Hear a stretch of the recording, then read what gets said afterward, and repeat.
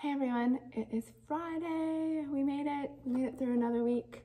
So along with that Friday feeling where we've got some UNICEF dances to do, uh, we're also going to talk about flexibility. So Flexibility Friday. Who knows what flexibility is?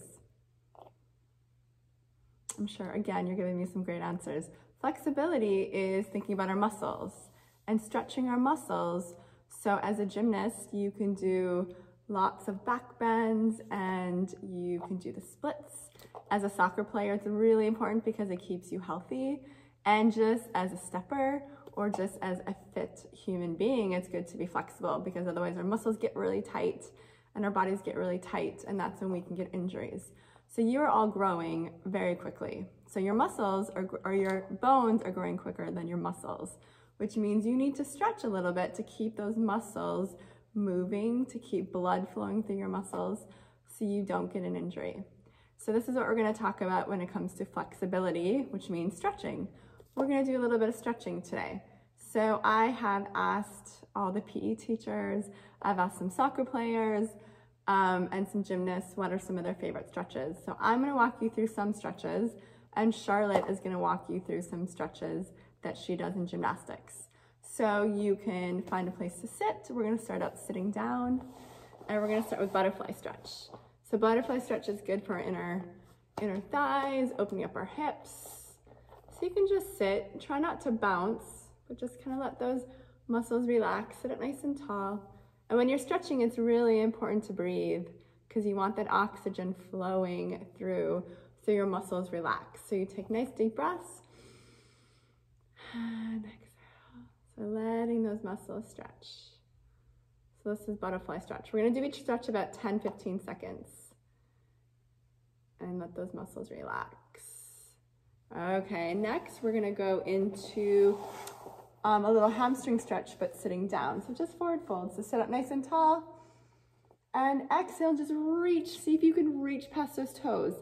See where your fingertips get. We all have different flexibility in the backs of our legs. So just see how far you can get. And it's good to inhale, and then you exhale and you reach. And hold and come back. One more time. Inhale, exhale, forward fold. Can any of you put your head on your legs? I bet you can. I bet you're super flexible. And four point kneeling stretch. So you can sit on your bottoms. We're gonna sit on our bottoms and you put that one leg over and you just sit into it. And you just sit, kind of like a cross-legged stretch.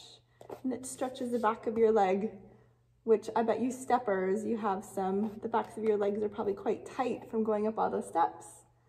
So this is a good one to do and then switch over and sit into it. And notice is one side tighter than the other? Our sides of our bodies aren't very even, so I bet one side feels a little bit tighter. So we've done our on the floor stretching. We're gonna do some stretching standing up for Flexibility Friday, but let's try the sit and stand challenge. Remember this? This tests our flexibility. So we've done this before in class, but let's try it. So we've done our on the floor stretching. Now we're gonna try this to see how we go. So arms up. Remember, you sit down and you get back up again. Can you do it? See if you can do it five times. Sit down. Some of you may need to cross your legs, but see if you can do it so you don't cross your legs. Ooh, and get back up again. So try it five times, and this tests a lot of the flexibility in your knees and your lower body. Two more times, keep going. If you can do it, amazing. If not, this is a great test. So let's do some more stretching and then try it again. And this can be our test for flexibility to see if our stretching has helped us become a little more flexible. All right, so standing up. This is a really good one for our backs because we're sitting a lot and our hamstrings. So you just reach down and touch those toes and let your head, neck, and shoulders be really heavy. So shake your head yes and no and then roll yourself back up again. Let's do that again. Take an inhale. Exhale, just reach down. Let everything relax. Head, neck, and shoulders heavy. Shake the head yes or no. Roll yourselves up. So do that for me two more times. Take a nice big inhale. Exhale, you roll down. Let everything be heavy and come back up. And one more time. Fantastic. Now let's try a little side bend to the sides of our body. So imagine you're gonna just curl yourself over a big beach ball. So stand up nice and tall, inhale, exhale, curl yourself over that beach ball. And inhale back up. And now the other side. So inhale, exhale, curl yourself over that beach ball. And come back up. And again, inhale, curl yourself. Oh, feel that nice stretch up the side of your body. And last one, exhale. Excellent. And a few arm circles for upper body. Nice stretch of that upper body. Excellent. And for all of us, we need to open up those hips. So just a nice stretch.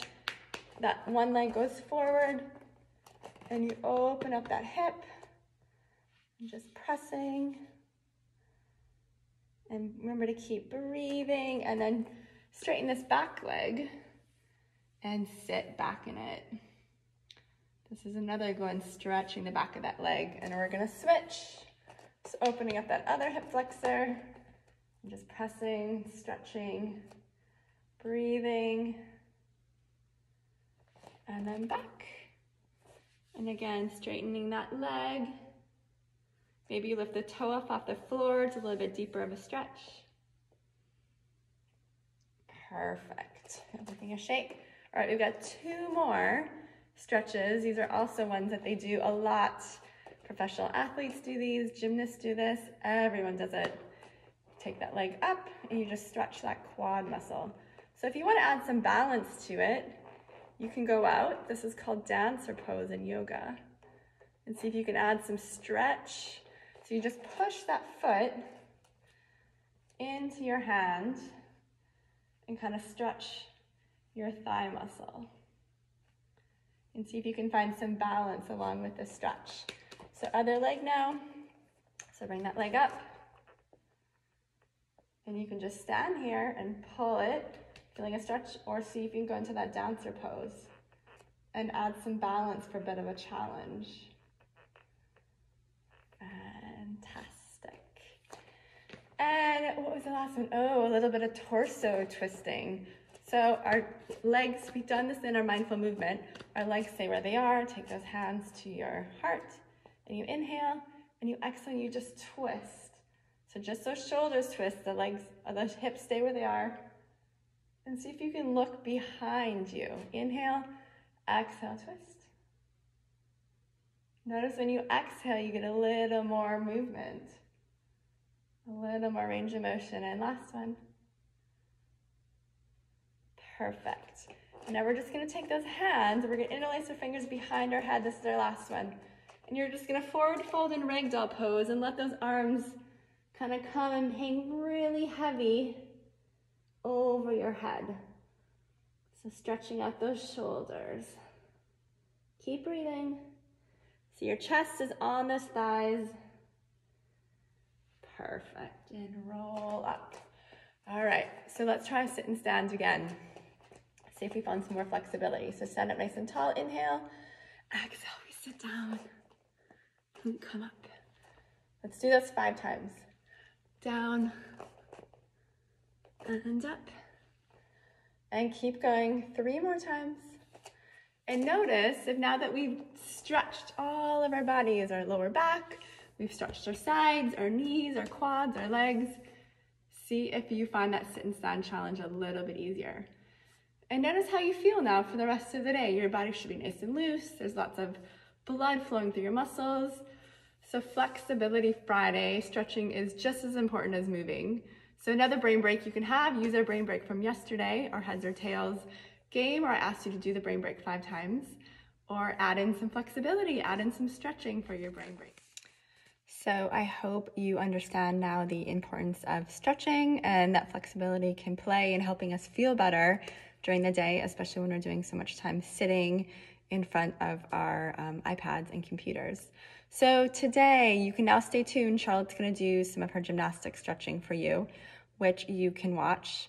And our cat makes an appearance. It's very exciting. So stay tuned for that. Otherwise, carry on with the challenges I've given you, stepping, soccer, gymnastics. Um, do a unicef video for your Friday feeling. Have some fun. Enjoy the weekend, and we'll see you Monday. So today we've got our Flexibility Friday, stretching with Lucy. Just kidding, everyone. It's stretching with Charlotte. She's going to walk you through some stretching for flexibility in gymnastics. This is what she does at her gymnastics classes. So first we're going to start off touching our toes. If you can't touch your toes, then just lean. But if you can go farther, then go behind your feet. And how long should we hold that, Charlotte? Um, 10 seconds. So holding everything for about 10 seconds. Now we're going to do a lunge. Um, you can put your leg um, on the floor, but if you think that's too easy, then you can lift your leg.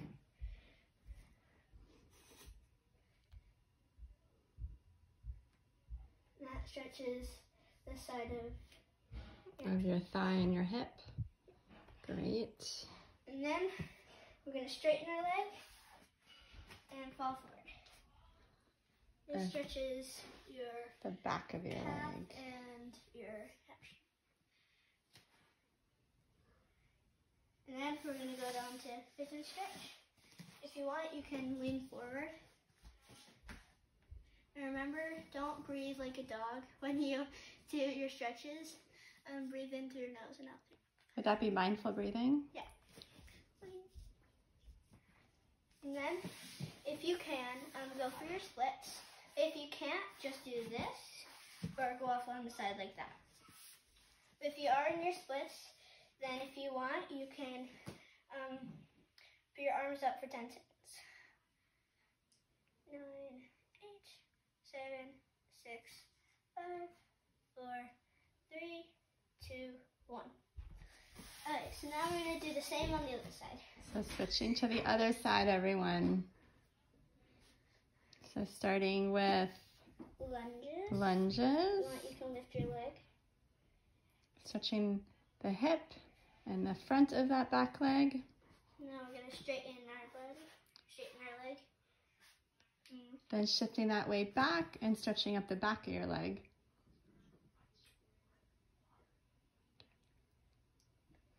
Remember holding each stretch for about 10 seconds. Now pigeon. Now pigeon.